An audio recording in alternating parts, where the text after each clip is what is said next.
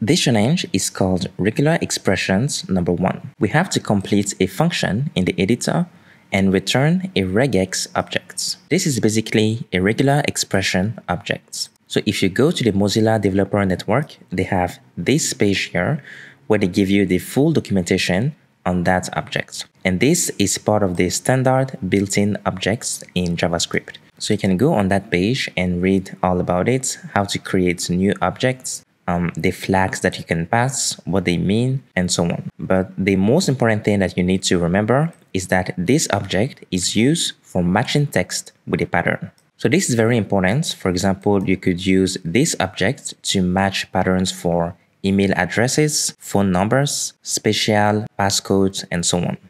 In this challenge, we need to match the pattern that is defined for us right here. So in the task, they say it has to match any string and the string name is S, which begins and ends with the same vowel. So the instructions are repeated here. We need to declare an object. We need to call it RE for regular expressions.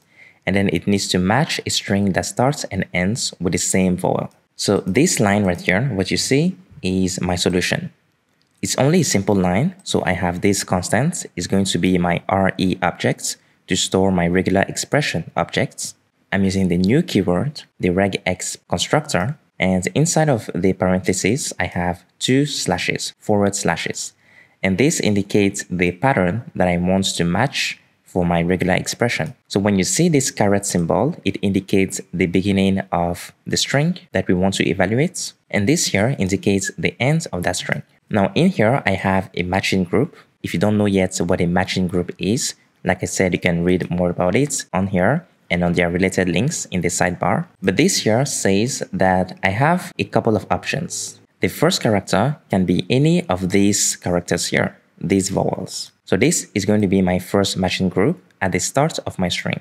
Then I have this dot symbol or a period, which means it's any character, meaning that after matching the first character, let's say we know that it's a vowel, then I can have any number of any character so that's why I have this period, meaning any character, and this asterisk means any number of times between 0 and unlimited times. And then in here, I have this backward slash and number 1, meaning that I want to make sure that whatever I was able to match here in my first matching group is repeated after any number of characters here.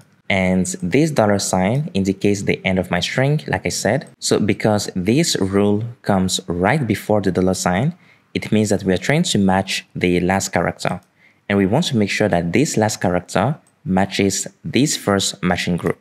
So you can plug this on regex101.com, which is a platform that teaches you how to use regular expressions and also evaluate some patterns. So here I've pasted my, my pattern right here from here inside of this input field. And on the side here, on the right, they explain my expression. So here they repeat again that this caret asserts the position at the start of a line. This here, what you see in between parentheses is my first capturing group or matching group where we want to evaluate for the vowels inside of the string that I want to match.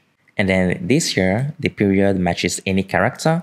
The asterisk matches the previous token, which is this period, any character. It matches it any number of times between 0 and unlimited times. And then this backward slash and 1 matches the same text as most recently matched by the first capturing group, meaning by the first character here. We want to match it again at the end to make sure that the last character is the same as this one here. But the first one has to be a vowel from the list that we're given here. And the dollar sign is the end of the line. So let's run this code now. We have returned this. They're doing this for us already.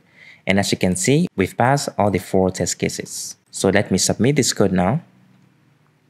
And we've passed all the nine test cases. So that's it for regular expressions number one.